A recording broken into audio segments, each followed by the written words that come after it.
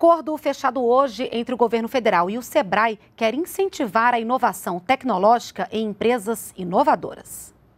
A ideia é incentivar a criação de startups, que são empresas que buscam explorar atividades inovadoras no mercado. O programa promove a aceleração de startups brasileiras através de cursos gratuitos e contatos com investidores e mentores nacionais e internacionais para empresas inovadoras com alto potencial de crescimento em todo o país. Durante o evento, o ministro do Desenvolvimento, Indústria e Comércio, Armando Monteiro, disse que a inovação tecnológica deve gerar ganhos para toda a sociedade, que é justamente justamente o objetivo deste programa, que promove a aproximação entre os centros de geração de conhecimento e os empreendedores. Brasil tem que inovar crescentemente processos, produtos. As empresas estão desafiadas a inovar os modelos de negócios, porque o mundo, as coisas mudam a cada momento e o Brasil precisa cada vez mais adaptar-se a essas mudanças. Também foi lançado um projeto piloto que vai priorizar a obtenção de patentes por micro e pequenas empresas.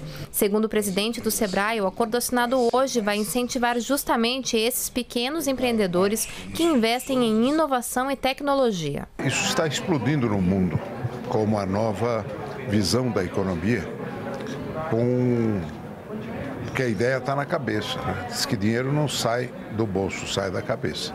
Então você tem que investir nessas cabeças. Patrícia Pellegrini é biomédica e sócia de uma empresa que produz biofármacos, medicamentos obtidos a partir de micro-organismos ou células modificadas geneticamente. Ela participou da Inovativa Brasil em 2015 e acredita que o programa foi essencial para impulsionar a empresa. O que o Inovativa proporcionou foi ampliar os nossos olhos porque a gente, no início, a gente estava focando só no mercado brasileiro. E o Inovativa permitiu a gente enxergar que o nosso mercado ele pode ser mundial, ele não necessariamente precisa ser só brasileiro. As inscrições de projetos para o primeiro ciclo do programa Inovativa Brasil começam hoje e vão até 14 de março. Todas as informações estão em www.inovativabrasil.com.br.